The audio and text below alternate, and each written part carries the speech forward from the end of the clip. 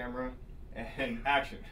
Hello, lovely viewers, and welcome to Robin and Robin. Our mission is to personalize instruction. And t- uh, technology and the content we develop enables the teacher to easily do that. Personalize that instruction so a student gets what they need, what's interesting to them at the time they need it.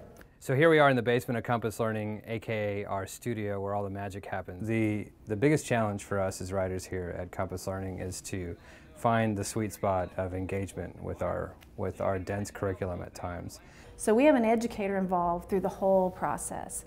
So even our director on set that's directing the video is an educator. Uh, let's go back. Uh, let's give them more to set up on. The writers put themselves in the place of the student, first of all, and a, and a class clown, second, to make sure that we are true to what we're trying to teach, what we're trying to track to as a state standard, but we want to make sure we couple it with like a spoonful of sugar. So getting the right thing to the right student at the right time, while a bunch of kids are working at the same time, is really difficult. So um, what we what this enables you to do is use an assessment system, figures out what Fred needs, what Mary needs, what Bill needs, and delivers that instruction, gives the kid the direct instruction they need when they need it, you know, right at the time they need it. You've got the humor of the writing. You've also got the interactivity of this robust flash-based animation, and you've got these beautiful videos that we shoot down here too. So all three of those combined uh, with with the uh, the curriculum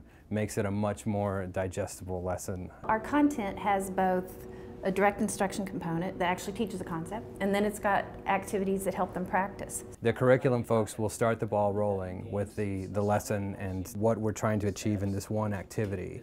And then we, we get in a room, we talk about the best way to, to teach it, try to make sure that everything is as good as we can possibly make it. And then it just goes down the line. It's like an assembly line type of thing. And then we all get together again and sign off on this, uh, on this activity and then wash, rinse, repeat. Whenever we get ready to build a course, uh, we look at state standards, and we're a national company, so we look across the U.S.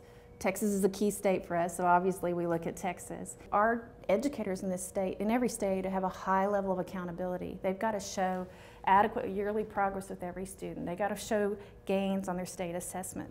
And so we have to make sure we show that while our content is very engaging, we have to differentiate it from being edutainment because edutainment is not what um, schools want or, or students need.